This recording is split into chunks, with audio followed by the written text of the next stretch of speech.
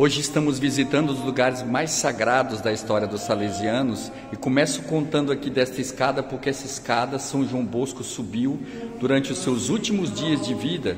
E quando São João Bosco aqui estava, é o que aconteceu, são 30 degraus nessa escada. E o que São João Bosco, ele estava com um problema sério na perna, ele a cada degrau desse que ele ia subindo, São João Bosco passava dois minutos.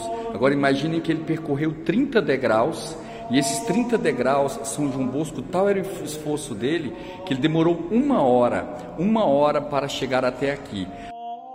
Este local, São João Bosco, ele passou 20 dias, celebrou aqui, é, 20, é, celebrou aqui, e vem justamente contando aqui um pouco, né? O segredo de Dom Bosco. Este local assim é bastante sagrado que conta um pouco aqui da história da viagem de São João Bosco. Diz que, que quando São João Bosco cumprimentou o Papa, o Papa Pio IX, é, o Leão XIII, para ser exato, Leão XIII pediu que São João Bosco é, ele, ele construísse esta igreja que vamos mostrar para vocês também. E aqui São João Bosco fez 20 viagens a Roma. E nesta última viagem o Papa o Papa pediu que São João Bosco, ele, aqui é a viagem número 4, aqui é a viagem 2 e 3, viagem 1, começamos aqui numa ordem, numa ordem diversa. E aí, quando São João Bosco esteve, o Papa pediu a São João Bosco que assumisse a construção desta igreja do Sagrado Coração de Jesus, da qual aquela do Brasil, o projeto daquela que nós conhecemos do Brasil e que é tão cara aos arautos, esta igreja é aqui, digamos, o projeto inicial daquela que está no Brasil. Inclusive, Dr. Plínio esteve aqui visitando. E aqui nessas vindas de São João Bosco, ele já estava muito doente e o padre, ou melhor, o Papa pediu São João Bosco que assumisse a, a que assumisse a, a, a a, a, construção dessa igreja. Ele disse para o Papa que não podia devido à sua saúde. E o Papa não aceitou o não de São João Bosco, que depois comentou para ele o seguinte, dizendo assim, que São João Bosco, você assuma, senão eu não assino o seu passaporte para o céu. Então São João Bosco estando aqui, ele ele ele ficou, ele disse que ele tinha que vir aqui para a consagração e essa é a data, o dia 30 de abril de 1887 a vinda de São João Bosco aqui. E aí, como vai dizendo, de 30 de abril, do Bosco entrou na casa da Via Magenta, que é esta casa, sobre onde estava escrito: Roma se aleta e se exalta em acolher, acolher sobre seus muros o novo São Felipe Neri, Dom Bosco. E aqui ele celebra no altar desta igreja que nós estivemos aqui, onde São João Bosco ele chorou, né? A sua missa é interrompida 15 vezes de, devido ao seu choro. E o seu tempo todo compreenderai ele, tinha dito a Madonna no seu primeiro sonho.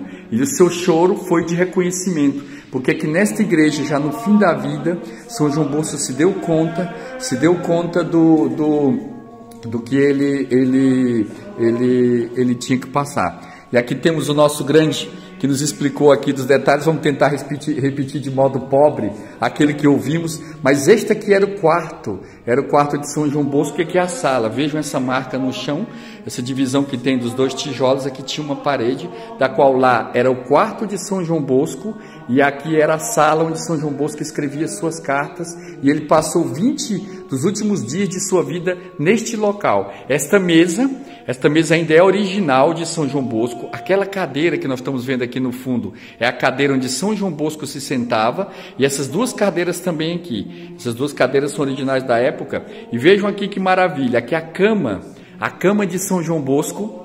Esta cama, ela, ela ainda tem tudo é original desse, como vocês podem ver aqui. E aqui está escrito, e aqui temos como uma, uma imensa graça este, este é, é, é, este travesseiro foi utilizado por São João Bosco. Vejam aqui o que ainda está escrito no travesseiro Dom Bosco. Vejam que imensa graça que encontramos diversos santinhos de São João Bosco embaixo das pessoas que pediram. E aqui durante esse altar, este altar aqui foi feito para que São João Bosco pudesse celebrar as suas santas missas. E ali temos um, um este quadro, que ele é chamado assim a Madonna da Tenerezza, Madonna da Ternura. É difícil assim ver, devido assim porque a, a, está um tanto apagado, mas este quadro ele é pregado na parede.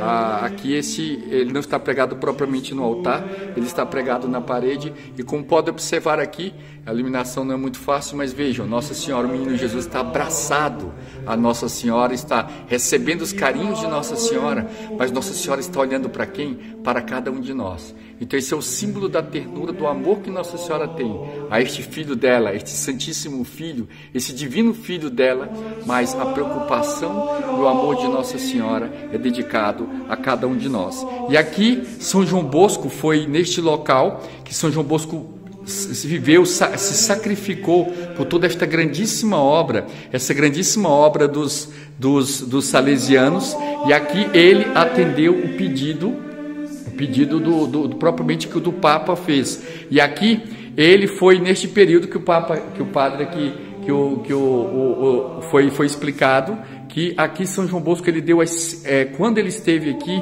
em Roma aconteceu neste local um milagre. Uma senhora que era 20 anos paralítica, ela não de um braço, ela veio aqui encontrar-se com São João Bosco, veio de longe.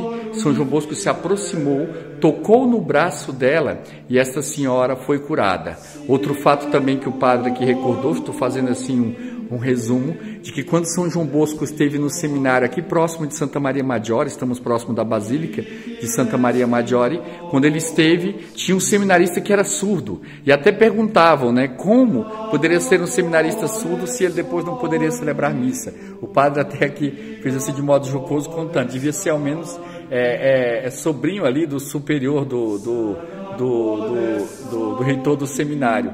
Mas aí, quando São João Bosco se aproximou dele, puseram ele do lado de São João Bosco. São João Bosco tocou e ele ficou curado. Aqui vemos, por exemplo, todos os livros de oração que São João Bosco fez.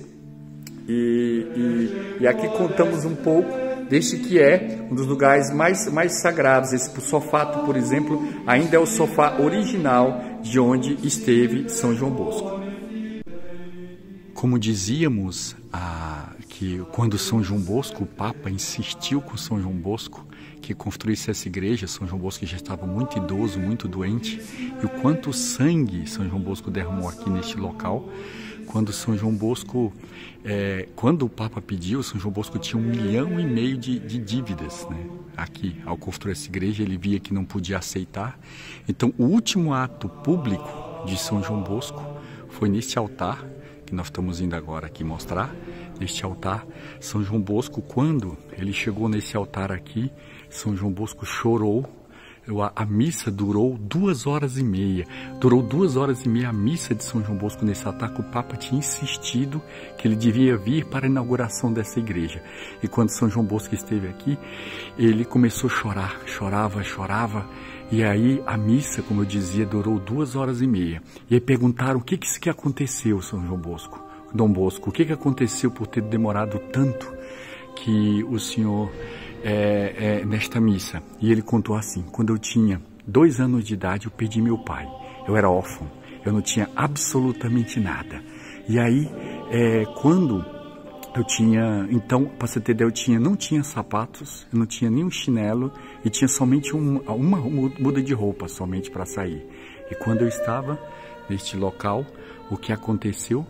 É, eu, eu com nove anos ele teve aquele famoso sonho ou aquela visão, em certo sentido, que aparecia como se fosse um anjo e que dizia para ele, ele tinha uma visão, um sonho, tal qual aparecia assim, como se fossem os lobos para atacar ovelhas e, e São João Bosco batia aquele para defender aquelas ovelhas. E aí o que que depois dizia, aparecia alguém que dizia: "Não é através assim da força que tu irás defender a esses a, a essas ovelhas. Será através do carinho, será através da bondade. Eu te darei uma mestra", dizia assim, esta mestra era Nossa Senhora, "e tu lá no fim tu compreenderás. Era o último momento já da vida de São João Bosco, mais de 50 anos depois daquele sonho, nesse altar, quando São João Bosco foi fazer a inauguração desta igreja que nós estamos vendo agora, é, São João Bosco chorou e ele disse: Só então que eu compreendi, eu compreendi aquilo que Nossa Senhora tinha pedido de mim, aquela promessa, aquele sonho que eu tive quando eu tinha nove anos de idade, porque eu não tinha absolutamente nada. Esta aqui foi a quinta igreja que São João Bosco construiu, Foi a quinta igreja que ele, que ele construiu e ele, em, em sete anos, ele pagou né, toda a construção aqui dessa igreja e ele via que aí ele compreendeu aquele primeiro sonho, aquela graça primeira que ele recebeu aqui nesta igreja do Sagrado Coração de Jesus, que vocês podem observar assim quanto a planta é praticamente igual à planta da igreja do Sagrado Coração de Jesus da de São Paulo. Né? O projeto é, pra, é, é bem semelhante àquela do Sagrado Coração de Jesus. Então, aqui também nesta igreja, o Dr. Plínio esteve e recordou muito este fato narrado aqui da história de São João Bosco, deste milagre acontecido neste lugar.